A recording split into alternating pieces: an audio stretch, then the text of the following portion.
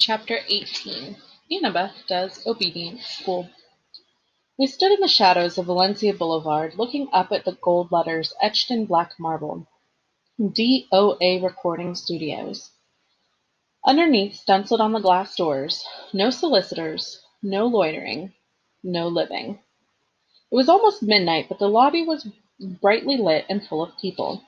Behind the security desk sat a tough-looking guard with sunglasses and an earpiece. I turned to my friends. Okay, remember the plan. The plan? Grover gulped. Yeah, I love the plan.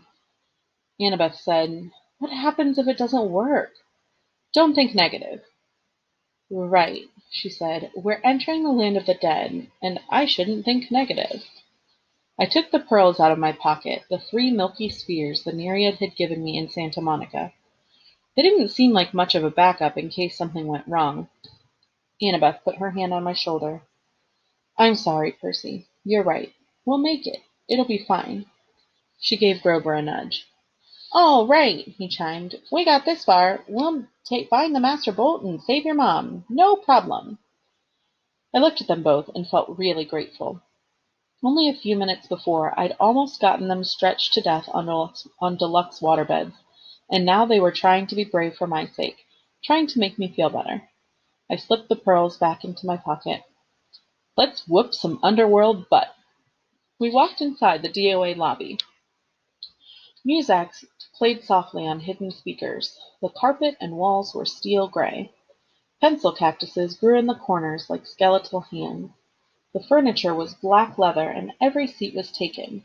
There were people sitting on couches, people standing up, people staring out the windows or waiting for an elevator.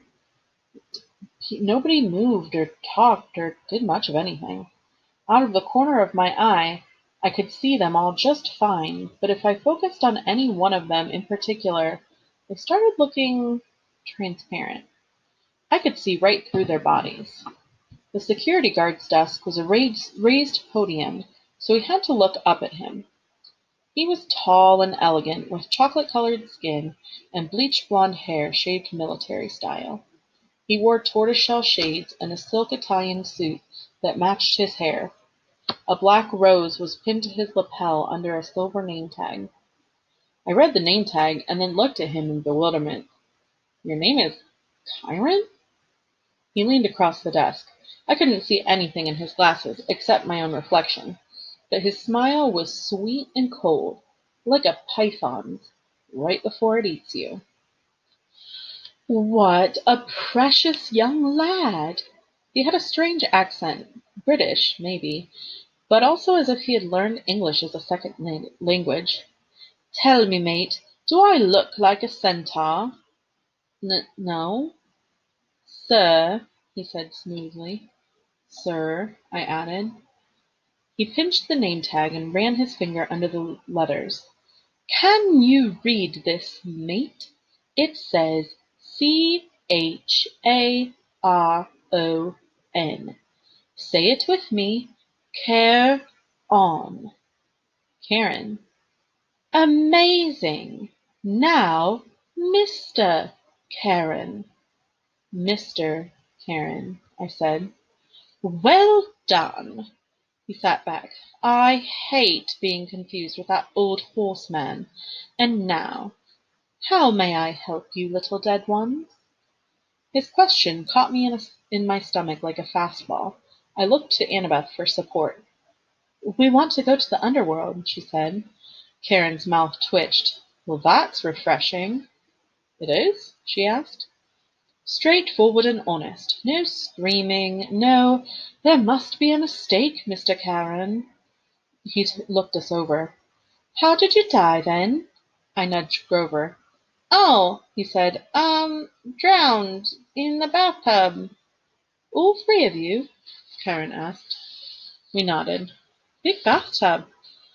Charon looked mildly impressed. I don't suppose you have coins for passage. Normally, with adults, you see, I could charge you American Express or add the ferry price to your last cable bill. But with children, alas, you never die prepared. Suppose you'll have to take a seat for a few centuries. Oh, but we have coins. I set three golden drachmas on the counter. part of the cash I'd found in Crusty's office desk. Well now, Charon moistened his lips. Real drachmas? Real golden drachmas? I haven't seen these in. His fingers hovered greedily over the coins. We were so close. Then Charon looked at me.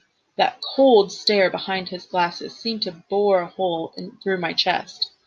Here now, he said, you couldn't read my name correctly. Are you dyslexic, lad? No, I said, I'm dead. Charon leaned forward and took a sniff. You're not dead. I should have known. You're a godling. We have to get to the underworld, I insisted. Charon made a deep sound, a growling deep sound deep in his throat. Immediately all the people in the waiting room got up and started pacing, agitated, lighting cigarettes, running hands through their hairs, through their hair, or checking their wristwatches. Leave while you can, Charon told us. I'll just take these and forget I saw you. He started, he started to go for the coins, but I snatched them back. No service, no tip. I tried to sound braver than I felt. Charon growled again, a deep, blood-chilling sound. The spirits of the dead started pounding on the elevator doors. It's a shame, too, I sighed. We had more to offer. I held up the entire bag from Crusty's stash. I took out a fistful of drachmas and let the coins spill through my fingers. Charon's growl changed into something more like a lion's purr. Do you think I can be bought, godling? Eh, just out of curiosity, how much have you got there? A lot, I said. I bet Hades doesn't pay you well for such hard work. Oh, you don't know the half of it. How would you like to babysit these spirits all day? Always, please don't let me be dead, or please let me across for free. I haven't had a pay raise in three thousand years. Do you imagine suits like these come cheap? You deserve better, I agreed. A little appreciation, respect, good pay. With each word I stacked another gold coin on the counter. Charon glanced down at his silk Italian jacket as if imagining himself in something even better. I must say, lad, you're making some sense now. Just a little. I stacked another few coins. I could mention a pay raise while I'm talking to Hades. He sighed. The boat's almost full anyway. I might as well add you three and be off. He stood, scooped up our money, and said, Come along. We pushed through the crowd of waiting spirits, who started grabbing at our clothes like the wind, their voices whispering things I couldn't make out. Charon shoved them out of the way, grumbling, Freeloaders! He escorted us into the elevator, which was already crowded with the souls of the dead each one holding a green boarding pass. Charon grabbed two spirits who were trying to get on with us and pushed them back into the lobby. Right, now no one get any ideas while I'm gone, he announced to the waiting room. And if anyone moves the dial off my easy listening station again, I'll make sure you're here for another thousand years. Understand? He shut the doors put a key card into the slot in the elevator in the elevator panel, and we begin we started to descend. What happens to the spirits waiting in the lobby? Annabeth asked. Nothing, Charon said. For how long? Forever, or until I'm feeling generous. Oh, she said, that's fair. Charon raised an eyebrow. Whoever said death was fair, young miss? Wait till it's your turn. You'll die soon enough, where you're going. We'll get out alive, I said. Ha! I got a sudden dizzy feeling. We weren't going down any more, but forward. The air turned misty. Spirits around me started changing the shape. Their modern clothes flickered, turning into gray hooded robes. The floor of the elevator excuse me, the floor of the elevator began swaying. I blinked hard. When I opened my eyes, Charon's creamy Italian suit had been replaced with a long black robe. His tortoiseshell glasses were gone. Where his eyes should have been were empty sockets, like Ares's eyes, except Charon's were totally dark, full of night and death and despair. He saw me looking and said, Well? Nothing, I managed. I thought he was grinning, but that wasn't it. The flesh of his face was becoming transparent, letting me see straight through to his skull. The floor kept swaying. Grover said, I think I'm getting seasick. When I blinked again, the elevator wasn't an elevator anymore. We were standing on a wooden barge. Charon was pulling us across a dark, oily river, swirling with bones, dead fish, and other stranger things plastic dolls, crushed carnations, soggy diplomas with gilt edges. The river Styx, Annabeth murmured. It's so polluted, Charon said. For thousands of years you humans have been throwing everything in, ev- throwing in everything as you come across. Hopes, dreams, wishes that never came true. Irresponsible waste management, if you ask me. Mist curled off the filthy water. Above us, almost lost in the gloom, was a, steel, a ceiling of stalactites. Ahead on the far shore glimmered a greenish light, the color of poison. Panic closed up in my throat. What was I doing here? These people around me, they were dead. Annabeth grabbed hold of my hand. Under normal circumstances, this would have embarrassed me, but I understood how she felt. She wanted reassurance that somebody else was alive on this boat. I found myself muttering a prayer, though I wasn't quite sure who I was praying to. Down here, only one God mattered, and he was the one I had come to confront. The shoreline of the underworld came into view.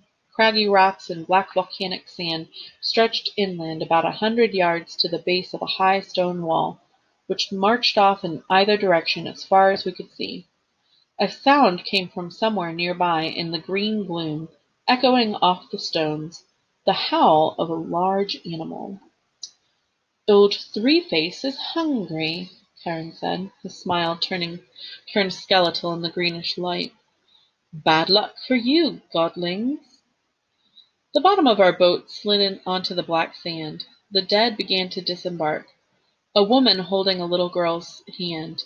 An old man and old woman hobbling arm in arm. A boy no older than I was, shuffling silently along in his gray robe. Charon said, I'd wish you luck, mate, but there isn't any down here. Mind you, don't forget to mention my pay raise. He counted our golden coins in his pouch, then took up his pole.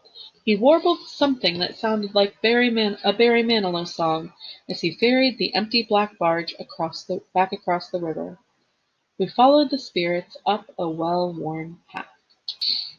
I'm not sure what I was expecting. Pearly gates or big black portcullis, portcullis or something. But the entrance to the underworld looked like a cross between airport security and the Jersey Turnpike. There were three separate entrances under one huge black archway that said, You are now entering Erebus. Each entrance had a pass-through metal detector with security cameras mounted on top. Beyond this were toll booths manned by black-robed ghouls like Charon. The howling of a hungry animal of the hungry animal was really loud now, but I couldn't see where it was coming from. The three-headed dog, Cerberus, who was supposed to guard Hades Hades's door, was nowhere to be seen. The dead queued up in three lines, two marked attendant on duty and one marked easy death. The easy death line was moving right along. The other two were crawling. What do you figure? I asked Annabeth. The fast line must go straight to the asphodel fields, she said. No contest. They don't want to risk judgment from the court because it might go against them. There's a court for dead people? Yeah, three judges. They switch around who sits on the bench. King Minos, Thomas Jefferson, Shakespeare, people like that. Sometimes they look at a life and decide that the person needs a special reward, the fields of Elysium. Sometimes they decide on punishment. But most people, well, they just lived. Nothing good, no, nothing special, good or bad. So they go to the asphodel fields. And do what? Grover said, Imagine standing in a wheat field in Kansas. Forever. Harsh, I said. Not as harsh as that, Grover muttered. Look. A couple of black robed black robed ghouls had pulled aside one spirit and were frisking him at the security desk. The face of the dead man looked vaguely familiar. He's the preacher who made the news, remember? Grover asked. Oh, yeah, I did remember now. We'd seen him on TV a few times at the Yancey Academy dorm. He was this annoying televangelist from upstate New York who raised millions of dollars for orphanages and then got caught spending the money on stuff for his mansion, like gold-plated toilet seats and an indoor putt-putt golf course. He died in a police chase when his Lamborghini for the Lord went off a cliff. I said, What are they doing to him? Special punishment from Hades, Grover guessed. The really bad people get his personal attention as soon as they arrive. The fear, the kindly ones will set up an eternal torture for him. The thought of the Furies made me shudder. I realized I was in their home territory now. Old Mrs. Dodds would be licking her lips with anticipation. But if he's a preacher, I said, then and he believes in a different hell. Grover shrugged. Who says he's seeing this place the way we're seeing it? Humans see what they want to see. You're very stubborn or persistent in that way. We got closer to the gates. The howling was so loud now it shook the ground at my feet. I couldn't figure out where it was coming from. Then, about fifty feet in front of us, the green mist shimmered. Standing just where the path split into three lanes was an enormous, shadowy monster. I hadn't seen it before because it was half transparent, like the dead. Until it moved, it blended in with whatever was behind it. Only its eyes and teeth looked solid, and it was staring straight at me. My jaw hung open. All I could think to say was, He's a Rottweiler. I had always imagined Cerberus as a big black mastiff, but obviously he was a purebred Rottweiler, except of course he was twice the size of a woolly mammoth, mostly invisible, and had three heads. The dead walked right up to him, no fear at all. The attendant on duty lines parted on either side of him. The easy death spirits walked right sorry, walked right between his front paws and under his belly, which they could do without even crouching. I'm starting to see him better, I muttered. Why is that? I think, Annabeth moistened her lips, I'm afraid it's because we're getting closer to being dead. The dog's middle head craned toward us. It sniffed the air and growled. It can smell the living, I said. But that's okay, Grover said, trembling next to me, because we have a plan. Right, Annabeth said. I had never heard her voice sound so quite so small. A plan. We moved toward the monster. The middle head snarled at us, then barked so loud my eyeballs rattled. Can you understand it? I asked Grover. Oh, yeah, he said. I can understand it. What's it saying? I don't think humans have a four-letter word that translates exactly. I took the big stick out of my backpack, a bedpost I'd broken off Crusty's Safari Deluxe floor model. I held it up and tried to channel happy dog thoughts toward Cerberus. Alpo commercials, cute little puppies, fire hydrants. I tried to smile like I wasn't about to die. Hey, big fella, I called up. I bet they don't play with you much. Growl. Good boy, I said weakly. I waved the stick. The dog's middle head followed the movement. The other two heads trained their eyes on me, completely ignoring the spirits. I had Cerberus's undivided attention. I wasn't sure that was a good thing. Fetch! I threw the stick into the gloom, a good solid throw. I heard it go kersploosh in the river Styx. Cerberus glared at me, unimpressed. His eyes were baleful and cold. So much for the plan. Cerberus was now making a new kind of growl, deeper down in his three throats. Um, Grover said. Percy?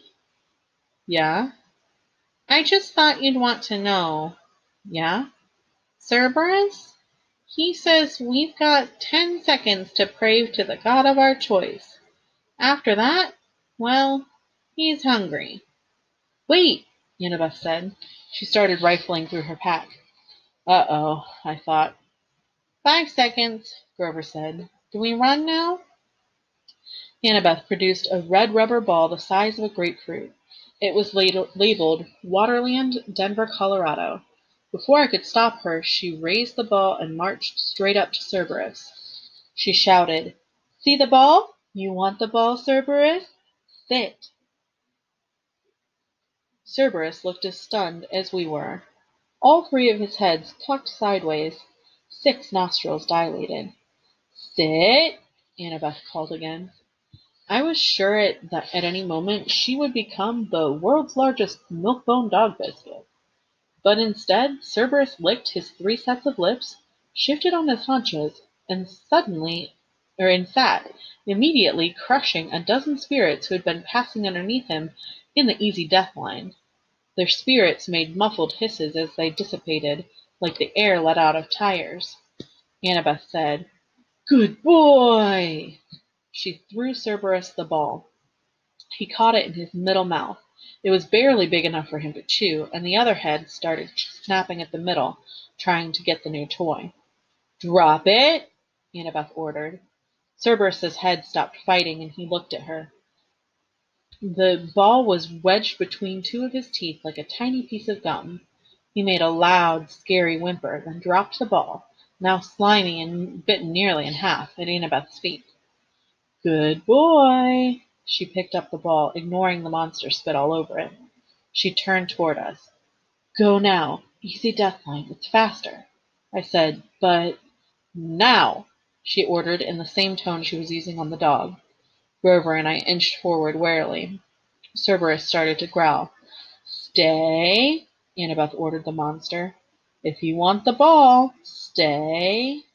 Cerberus whimpered, but stayed where he was at.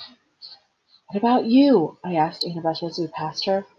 I know what I'm doing, Percy, she muttered. At least, I'm pretty sure. Grover and I walked between the monster's legs. Please, Annabeth, I prayed, don't tell him to sit again. We made it through. Cerberus wasn't any less scary looking from the back. Annabeth said, Good dog! She held up the tattered ball and probably came to the same conclusion I did. If she rewarded Cerberus, there'd be nothing left for another trick. She threw the ball anyway. The monster's left mouth immediately snatched it up, only to be attacked by the middle head while the right head moaned in protest. While the monster was distracted, Annabeth walked briskly under his belly and joined us at the metal detector. How did you do that? I asked her, amazed. Obedience school, she said breathlessly. I was surprised to see there were tears in her eyes. When I was little, at my dad's house, we had a Doberman. Never mind that, Grover said, tugging at my shirt. Come on. We were about to bolt through the easy death line when Cerberus moaned pitifully from all three mouths. Annabeth stopped. She turned to face the dog, which had done a 180 to look at us. Cerberus panted expectantly, a tiny red ball in pieces of in, in pieces in a puddle of drool at its feet. Good boy, Annabeth said, but this time her voice sounded melancholy and uncertain. The monster's head turned sideways. The monster's heads turned sideways, as if worried about her. I'll bring you another ball soon, Annabeth promised faintly. Would you like that? The monster whimpered. I didn't need to speak dog to know that Cerberus was still waiting for the ball. Good dog! I'll come visit you soon. I I promise. Annabeth turned toward us. Let's go. Aunt Grover and I pushed through the metal detector, which immediately screamed and set off flashing red lights.